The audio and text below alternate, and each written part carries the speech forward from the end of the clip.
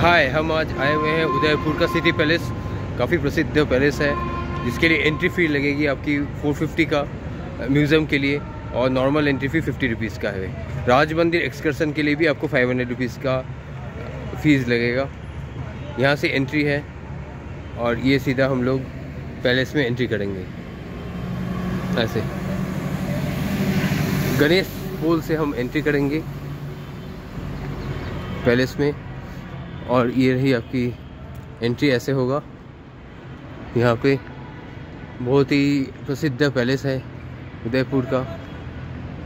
और हम एंट्री करके चलते हैं अंदर की तरफ़। पैलेस पुल की तरफ़। ये रही विशाल द्वार यहाँ पे।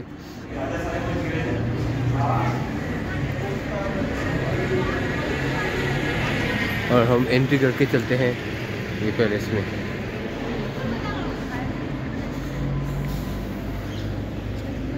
चलो आगे आपको दिखाते हैं पैलेस की एंट्री के बाद।